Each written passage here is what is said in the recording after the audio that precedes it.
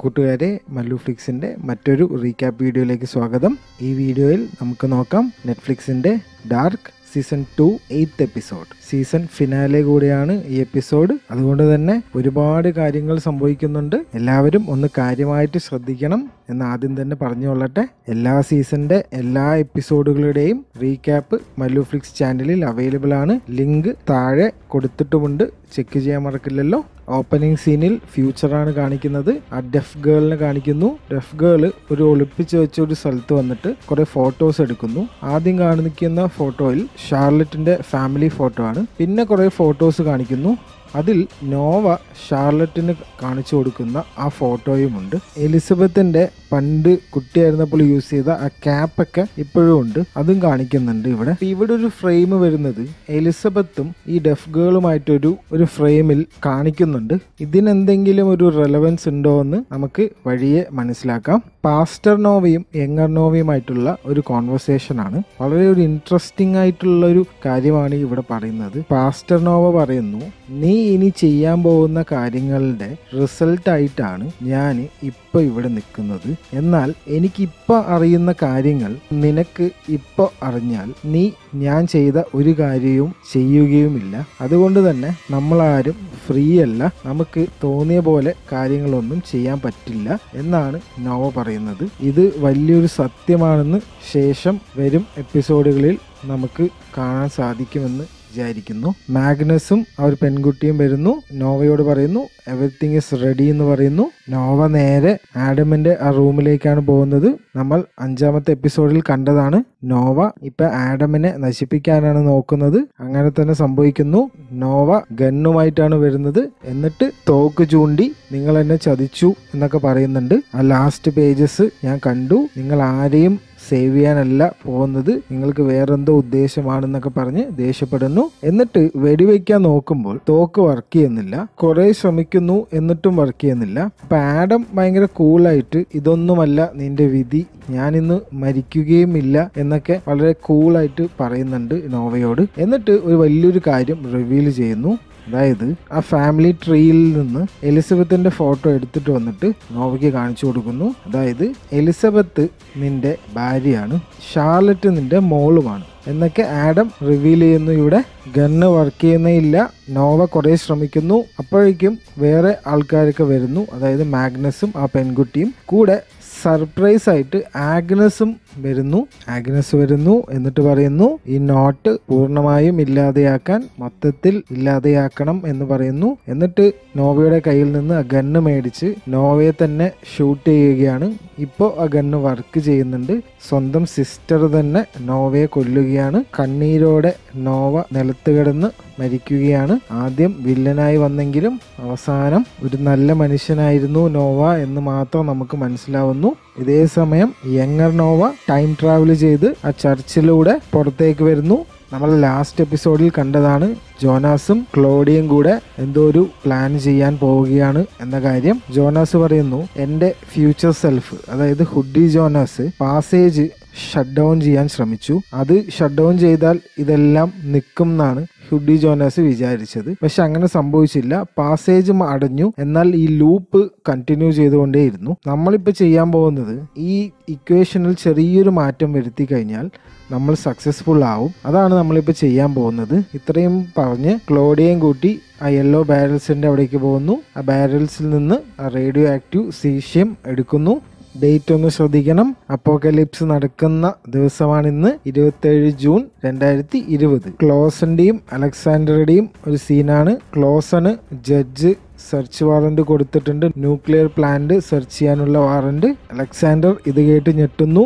അൾറിക്കും ഷാർലറ്റും കുറേ ശ്രമിച്ചിട്ടാണ് ഇത് കിട്ടിയത്. ക്ലോസൺ ബുദ്ധിപരമായി അലക്സാണ്ടറുടെ മേലൊരു കേസ് ആദ്യമിട്ട്. എന്നിട്ട് ജഡ്ജിനോട് പോയി ചോദിച്ചപ്പോൾ പെട്ടെന്ന് സെർച്ച് വാറന്റ് ഇഷ്യൂ ചെയ്യുന്നു. ക്ലോസൺ അവിടെ നിന്ന് ഇറങ്ങി നേരെ പവർ പ്ലാന്റിലേക്ക് പോകുന്നു. ഹുഡി ജോനാസ് ഹന്നയുടെ ആ ഗണ്ണും എടുത്ത് നേരെ മാർത്തയുടെ വീട്ടിലേക്ക് പോകുന്നു. മാർത്തയെ ഒരു വിധത്തിൽ പറഞ്ഞ് കാര്യങ്ങൾ മനസ്സിലാക്കാൻ ശ്രമിക്കുന്നു. പക്ഷെ മാർത്ത അതൊന്നും കേൾക്കുന്നില്ല. അവസാനം തോക്കെടുക്കേണ്ടി വരുന്നു. ഹുഡി ജോനാസിന്. അങ്ങനെ മാർത്തയെ ബലമായി നമ്മുടെ ബങ്കറിലേക്ക് കൊണ്ടുപോകുന്നു ബങ്കറിലാക്കുന്നു മാർത്തനെ. മാർത്ത ചോദിക്കുന്നു നീ എന്തിനാ ഇതൊക്കെ ചെയ്യുന്നത്? എന്ന് ചോദിക്കുന്നു. അപ്പൊ പറയുന്നു എനിക്ക് ഇനി നടക്കാൻ പോകുന്ന കാര്യങ്ങൾ അറിയാം. അതുകൊണ്ടാണ് ഞാൻ ഇത് ചെയ്യുന്നത്. നിന്റെ ശരിക്കുള്ള ജോനാസ് മടങ്ങി വരും എന്നും പറയുന്നുണ്ട്. എന്നിട്ട് മാർത്തയോട് നീ എന്ത് വന്നാലും ഈ ഒരു ബങ്കർ വിട്ട് പുറത്തിറങ്ങരുത് ഇന്ന് എന്ന് പറയുന്നു. എന്നിട്ട് ആ ബങ്കർ ലോക്ക് ചെയ്തിട്ട് ജോഡി ജോനാസ് പോകുന്നു. മാർത്ത ഈ ബങ്കറിൽ തന്നെ ഉണ്ടാവുമോ എന്ന് നമുക്ക് നോക്കാം. നമുക്ക് നേരത്തെ അറിയാം ബങ്കറിലുള്ളവർ മാത്രമേ ജീവിക്കുള്ളൂ എന്ന് നോവ ആദ്യമേ പറഞ്ഞിട്ടുണ്ട് അഞ്ചാമത്തെ എപ്പിസോഡിൽ അതുകൊണ്ട് തന്നെ ആയിരിക്കണം ഫുഡി ജോനേഴ്സും ഇപ്പോൾ മാർത്തയെ രക്ഷിക്കാൻ വേണ്ടി ഇങ്ങനെ ചെയ്തത്. കാത്തറീനെ കാണിക്കുന്നു.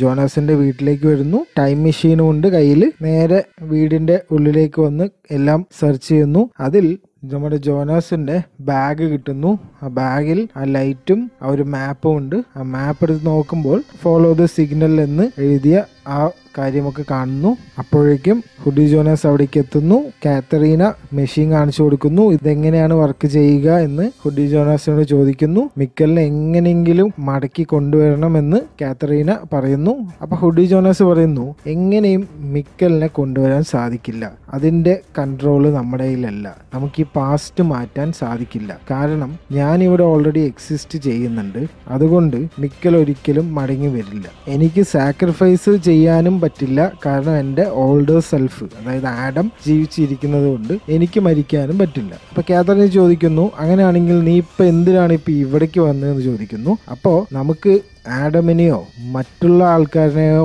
കൺട്രോൾ ചെയ്യാൻ പറ്റില്ലെങ്കിലും നമുക്ക് സ്വന്തമായിട്ട് കൺട്രോൾ ചെയ്യാലോ. അങ്ങനെ സ്വന്തമായിട്ട് മാറ്റങ്ങൾ വരുത്തി ഈ ഒരു കാര്യം സംഭവിക്കുന്നതിനെ ഇല്ലാതെയാക്കാനാണ് ഞാൻ ഇവിടെ വന്നിരിക്കുന്നത് എന്ന് കാത്തറീനയോട് എക്സ്പ്ലെയിൻ ചെയ്തു കൊടുക്കുന്നു. ഷാർലറ്റ് പോലീസ് സ്റ്റേഷനിലേക്ക് വരുന്നു. അവിടെ വെച്ച് വോളറിനെ കാണുന്നു. വോളർ എനിക്കൊരു കാര്യം പറയാനുണ്ട് എന്ന് പറഞ്ഞിട്ട് ഷാർലറ്റിനെ മാറ്റി നിർത്തി ഒരു കാര്യം പറയുന്നു. അതായത് അലക്സാണ്ടർ അവിടെ ന്യൂക്ലിയർ വേസ്റ്റ് ഇല്ലീഗലായിട്ട് ഡംപ് ചെയ്തിട്ടുണ്ടെന്നും അതിന് ഞാനും സഹായിച്ചു എന്നും വോളർ ഷാർലറ്റിനോട് പറയുന്നു. ഇത് കേട്ടതും ഷാർലറ്റിനൊരു കാര്യം മനസ്സിലാവുന്നു. അതായത് ഈ ന്യൂക്ലിയർ വേസ്റ്റ് കൊണ്ടാണ് ഈ ന്യൂക്ലിയർ വേസ്റ്റ് ഓപ്പൺ ചെയ്യുന്നത് കൊണ്ടാണ് ഇന്ന് ഈ അപ്പോകലിപ്സ് നടക്കുന്നത് എന്ന് ഷാർലറ്റിന് ഏകദേശം മനസ്സിലായിട്ടുണ്ട്. പീറ്ററും എലിസബത്തിനെയും കാണിക്കുന്നു. പീറ്റർ പറയുന്നു നമുക്ക് ബങ്കറിലേക്ക് പോവാം. അമ്മയും ഫ്രാൻസിസ്കയും അവിടേക്ക് വന്നോളും. നമുക്കിപ്പോൾ പോവാം എന്ന് പറഞ്ഞിട്ട് എലിസബത്തിനെയും കൂട്ടി കാറ് പീറ്റർ നേരെ ബങ്കറിലേക്ക് പോകുന്നു. ക്ലോസൺ ഇപ്പം നേരെ ന്യൂക്ലിയർ പ്ലാന്റ് എത്തിയിരിക്കുന്നു. അവിടെ സെർച്ച് ചെയ്യാൻ സ്റ്റാർട്ട് ചെയ്തിരിക്കുകയാണ്. കൂടെ കുറെ പോലീസുകാരൊക്കെ ഉണ്ട് അങ്ങനെ ഒരു ലോക്ക് ചെയ്തൊരു ഡോർ എത്തുന്നു. ഈ ഡോറിന്റെ ഉള്ളിലാണ് നമ്മുടെ ന്യൂക്ലിയർ വേസ്റ്റ് ഒക്കെ മറവ് ചെയ്തിരിക്കുന്നത്. അലക്സാണ്ടർ എന്താണ് ഈ ലോക്ക് ചെയ്തിരിക്കുന്നത് ചോദിക്കുന്നു. ഇത് പണ്ട് തന്നെ ലോക്ക് ചെയ്ത ഒരു കാര്യമാണെന്നും ഇതിന്റെ ഉള്ളിൽ ഒന്നും ഇല്ല എന്നൊക്കെ പറഞ്ഞ് ഒഴിയാൻ ശ്രമിക്കുന്നുണ്ട്. പക്ഷേ ക്ലോസന് ഇതൊരു ഇൻസ്റ്റിങ്ക്റ്റ് ആയി തോന്നുന്നു. ഇതിന്റെ ഉള്ളിലേക്ക് പോകണമെന്ന് പറയുന്നു. യെല്ലോ സൂട്ട്സ് ഒക്കെ ഇടുന്നു. അതിനുള്ളിലേക്ക് പോവാൻ നിൽക്കുന്നു. വീണ്ടും നയന്റി സെവനിലോട്ട് പോവാം. അവിടെ ജോനാസും ക്ലോഡിയും ഉണ്ട് എന്താണ് ശരിക്കും പ്ലാൻ എന്ന് ക്ലോഡി ചോദിക്കുന്നു. അപ്പൊ ജോനാസ് പറഞ്ഞു കൊടുക്കുന്നു. അതായത് ഈ പാസേജ് റീഓപ്പൺ ചെയ്യാനാണ് പോകുന്നത്. അപ്പൊ ക്ലോഡിയ സംശയത്തോട് ചോദിക്കുന്നു. നീയല്ലേ പറഞ്ഞത് നിന്റെ ഫ്യൂച്ചർ അതായത് ഹുഡി ജോനാസ് ഈ പാസേജ് ഇല്ലാണ്ടാക്കാനാണ് ശ്രമിച്ചത് എന്ന് പറഞ്ഞില്ലേ? പിന്നെ നീ ഇപ്പൊ എന്തിനാണ് റീഓപ്പൺ ചെയ്യുന്നത് എന്ന് ചോദിക്കുന്നു. അപ്പൊ ജോനാസ് പറയുന്ന മറുപടി അതായത് ഇത് റീഓപ്പൺ ഇപ്പൊ ചെയ്താലേ എനിക്ക് ഈ ലൂപ്പ് അതായത് ഈ സൈക്കിൾ ബ്രേക്ക് ചെയ്യാൻ പറ്റുള്ളൂ എന്നും പറയുന്നു ജോനാസ്. അപ്പൊ ക്ലോഡിയ ചോദിക്കുന്നു നിനക്കിതൊക്കെ എങ്ങനെ അറിയാം? അപ്പൊ ജോനാസ് പറയുന്നു എനിക്ക് ക്ലോഡിയ മുത്തശ്ശി അതായത് നിങ്ങളുടെ ഫ്യൂച്ചറാണ് എനിക്കിതെല്ലാം പറഞ്ഞു തന്നത്. ആഡമും സിഗ്മണ്ടസും കൂടെ പുതിയൊരു വേൾഡ് ഉണ്ടാക്കാൻ നോക്കുകയും നമ്മൾ രണ്ടുപേരും കൂടെ ഈ വേൾഡിനെ എങ്ങനെയെങ്കിലും രക്ഷിക്കാൻ നോക്കുകയുമാണ് ചെയ്യുന്നത്. അതാണ് നമ്മുടെ പ്ലാൻ എന്ന് ജോനാസ് പറയുന്നു. എന്നിട്ട് ആ പാസേജിന്റെ ഉള്ളിലോട്ട് പോകുന്നു. അവിടെ പോയി മെഷീനൊക്കെ ഓപ്പൺ ചെയ്ത് രണ്ടുപേരും ആ പാസേജിന്റെ അവിടെ ഇരിക്കുന്നു. അങ്ങനെ ജോനാസ് ആ മെഷീൻ ഓണാക്കുകയാണ് പാസ്റ്റും ഫ്യൂച്ചറും തമ്മിൽ കണക്ട് ചെയ്യും എന്നൊക്കെ പറഞ്ഞിട്ട് മെഷീൻ ഓണാക്കുന്നു ആ മെഷീന്റെ ഉള്ളിൽ നിന്ന് ആ ഒരു ഓറ പോലത്തെ ആ ഒരു ബ്ലൂ കളർ വരുന്നു. അതേ സമയത്ത് രണ്ടായിരത്തി ഇരുപതിൽ ലൈറ്റ്സ് ഫ്ലിക്കറും ചെയ്യുന്നുണ്ട്. പക്ഷികളൊക്കെ മരിച്ചു വീഴുന്നുമുണ്ട്. പീറ്ററും എലിസബത്തും കൂടെ ആ ബങ്കറിൽ എത്തുമ്പോൾ അതിനുള്ളിൽ മാർത്തനെ കാണുന്നു. മാർത്ത ഈ ഒരു ഓപ്പർച്യൂണിറ്റി യൂസ് ചെയ്ത് ആ ബങ്കറിൽ നിന്ന് രക്ഷപ്പെടുന്നു. ഇപ്പൊ ആ ബങ്കറിൽ പീറ്ററും എലിസബത്തും മാത്രമേ ഉള്ളൂ. അങ്ങനെ നമ്മുടെ പാസേജ് ഓപ്പൺ ആയിരിക്കുന്നു. ജോനാസും ക്ലോഡിയും ഇപ്പോൾ രണ്ടായിരത്തി ഇരുപതിലേക്ക് വരുന്നു. ജോനസ് പറയുന്നു ജോനസ് ആ മെഷീൻ ക്ലോഡിയെ ഏൽപ്പിച്ചിട്ട് പറയുന്നു നേരെ ബങ്കറിലേക്ക് പോകൂ എന്ന് പറയുന്നു. അപ്പോൾ നീ എന്താണ് ചെയ്യാൻ പോകുന്നത് ചോദിക്കുന്നു. എനിക്ക് മാർത്തനെയും എന്റെ അമ്മയും കണ്ടുപിടിക്കേണ്ടതുണ്ട് എന്ന് പറഞ്ഞിട്ട് ജോനസ് ഒരു വഴിക്ക് പോകുന്നു. ക്ലോഡിയ വേറെ വഴിക്ക് പോകുന്നു. സമയം കാണിക്കുന്നു. ഇനി രണ്ട് മണിക്കൂർ കൂടെ ഉള്ളൂ. അപ്പോക്കലിപ്സിന് എന്ന് പറയുന്നു. ക്ലോഡിയോട് നേരെ ബംഗറിലേക്ക് പോകാനാണ് ജോനാസ് പറഞ്ഞതെങ്കിലും ക്ലോഡിയ നേരെ മകളായ റെജീനന്റെ അടുത്ത് വരുന്നു. റെജീന അമ്മയെ കാണുന്നു. ഷോക്ക് ഷോക്കാവുന്നു റെജീനയ്ക്ക് ഇത്. പ്രായം തീരെയില്ലാത്ത അമ്മയെ ഇപ്പോൾ കണ്ടതിലുള്ള ഷോക്കാണ് റെജീനയ്ക്ക്. റെജീനയോട് ക്ലോഡിയ പറയുന്നു പേടിക്കല്ലേ? നീ എന്റെ കൂടെ വാ. ഞാൻ നിന്നെ രക്ഷിക്കാം എന്ന് പറയുന്നു. നമ്മൾ നേരത്തെ കണ്ടതാണ് യങ്ങർ നോവ ടൈം ട്രാവൽ ചെയ്ത് രണ്ടായിരത്തി ഇരുപതിൽ എത്തിയിട്ടുണ്ടായിരുന്നു. നേരെ ഹുഡി ജോനാസിനെ കാണാൻ വരുന്നു. ഹുഡി ജോനാസ് ഷോക്ക് ആവുന്നു നോവ എന്തിനാണ് എന്നെ കാണാൻ വരുന്നത് എന്നതിലുള്ള ഷോക്ക്. Younger Noah? ആ സെയിം ഡയലോഗ് പറയുന്നു. യു ലുക്ക് ഡിഫറെന്റ് എന്ന് പറയുന്നു. എന്നിട്ട് നീ ഇപ്പോ പറയാൻ പോകുന്ന കാര്യങ്ങളൊക്കെ എനിക്കറിയാം. അപ്പൊ കൂടുതൽ എക്സ്പ്ലെയിൻ ഒന്നും ചെയ്യുന്നില്ല. എന്ന് പറഞ്ഞിട്ട് ഒരു ലെറ്റർ കൊടുക്കുന്നു. മാർത്ത എഴുതിയതാണെന്ന് പറഞ്ഞിട്ടാണ് ലെറ്റർ കൊടുക്കുന്നത്. ഹുഡി ജോനസ് അത് വായിക്കുന്നു. ആകെ ഷോക്ക് ആവുന്നു. അതിൽ പറയുന്ന കാര്യങ്ങളൊന്നും എക്സ്പ്ലെയിൻ ചെയ്യുന്നില്ല ഇപ്പോൾ. എങ്ങനോവ പറയുന്നു. ഇതിൽ പറഞ്ഞിരിക്കുന്നത് പോലെ ഫ്രാൻസിസ്ക ബാർട്ടോസ് മാഗ്നസ് ഈ മൂന്ന് പേരെയും നീ ഇപ്പൊ രക്ഷപ്പെടുത്തണം. ഇതിനു ശേഷം നീ എന്നെയും ആഗ്നസിനെയും രക്ഷപ്പെടുത്തണം എന്നും പറയുന്നുണ്ട്. എന്നാൽ മാത്രമേ മാർത്ത ജീവിക്കുള്ളൂ എന്നുകൂടെ പറയുന്നുണ്ട്. ഹുഡി ജോനാസിനെ എങ്ങനെങ്കിലും മാർത്തനെ ജീവിപ്പിക്കണം മരിക്കാതെ നോക്കണം. അപ്പോൾ ഇത് കേട്ടതും മെഷീനും എടുത്ത് നേരെ പോവുകയാണ്. ഇതിന്റെ ഇടയ്ക്ക് കാത്തറീന ജോനാസിന്റെ ബാഗും എടുത്ത് നേരെ കേസിന്റെ ഉള്ളിലേക്ക് പോകുന്ന ഒരു സീന് കാണിക്കുന്നുണ്ട്. ബംഗാറിലിരിക്കുന്ന പീറ്ററിനെയും എലിസബത്തിനെയും കാണിക്കുന്നു. ഇവർ അമ്മയായ ഷാർലറ്റിനെയും ഫ്രാൻസിസ്കിനെയും കാത്തിരിക്കുകയാണ്. ഡോർ ഓപ്പൺ ആവുന്നു. പക്ഷെ വരുന്നത് ഇവർ ഒട്ടും പ്രതീക്ഷിക്കാത്ത രണ്ടാൾക്കാരാണ്. ഒന്ന് റെജീനയും വേറൊന്ന് ക്ലോഡിയും ക്ലോഡിയനെ കാണുമ്പോൾ പീറ്റർ മനസ്സിലാവുന്നു നിങ്ങളല്ലേ ഈ ഫോട്ടോയിലുള്ള ആൾ എന്ന് ചോദിക്കുകയും ചെയ്യുന്നു. അപ്പൊ ഇപ്പൊ ബംഗറിലുള്ള നാല് പേരാണ്. ഇതൊന്ന് നോട്ട് ചെയ്യാം. ഈ കാണിക്കുന്ന സീന് വളരെ ഇമ്പോർട്ടന്റ് ആണ്. അതായത് ആഡം ടൈം ട്രാവൽ ചെയ്യാൻ പോകുന്ന ആ സ്യൂട്ടൊക്കെ ഇട്ട് നയന്റീൻ ട്വന്റി വണ്ണിലുള്ള ആ പോർട്ടലിന്റെ ഉള്ളിൽ കയറി രണ്ടായിരത്തി ഇരുപതിലേക്ക് ടൈം ട്രാവൽ ചെയ്യുകയാണ്. അതേസമയം ഇവിടെ നമ്മുടെ ജോനാസ് നേരെ സ്വന്തം വീട്ടിലേക്ക് വരുന്നു. അതേ സമയത്ത് മാർത്തയും വരുന്നുണ്ട്. അങ്ങനെ കുറെ കാലങ്ങൾക്ക് ശേഷം ജോനാസും മാർത്തയും തമ്മിൽ കണ്ടുമുട്ടുകയാണ്. മാർത്ത പറയുന്നു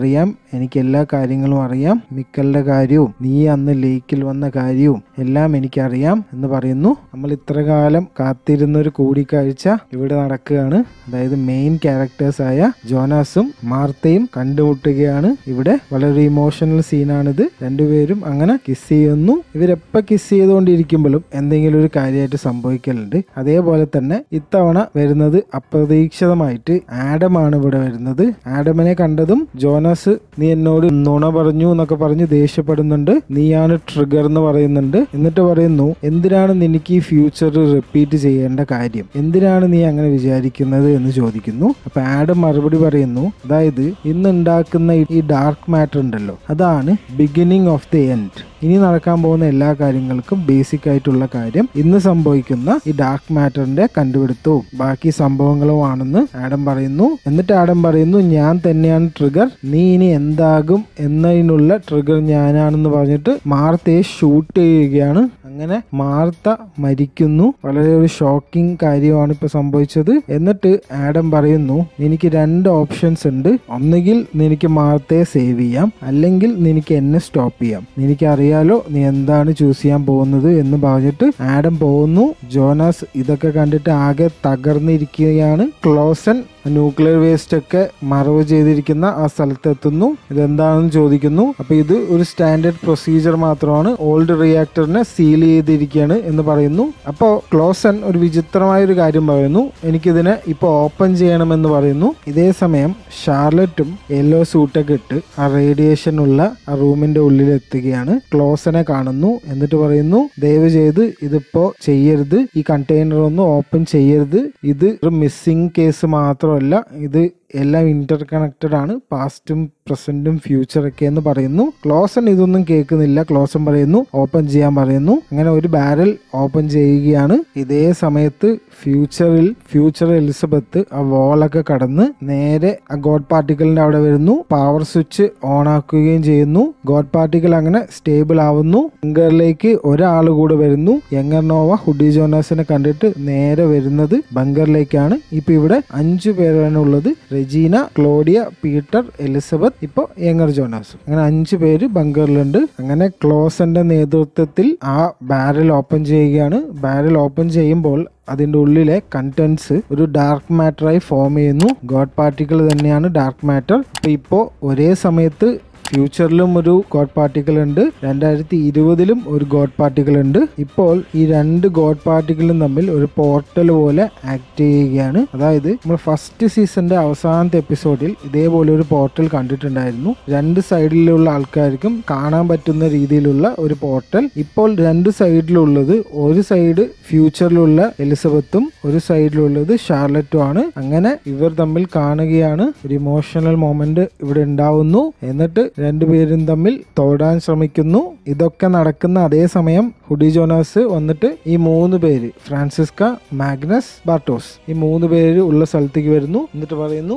നിങ്ങളെ ഞാനിപ്പോ രക്ഷിക്കാൻ പോവുകയാണ് എന്നും പറഞ്ഞ് ആ മെഷീൻ അവിടെ വെക്കുന്നു. മെഷീൻ ഓണാക്കുന്നു. ഈ മൂന്ന് പേർക്കും വലിയ ഐഡിയ ഇല്ല എന്താണ് ഇവിടെ സംഭവിക്കുന്നത് എന്ന് ഹുഡി ജോനാസ് പറഞ്ഞതുപോലെ അവർ കേൾക്കുന്നു.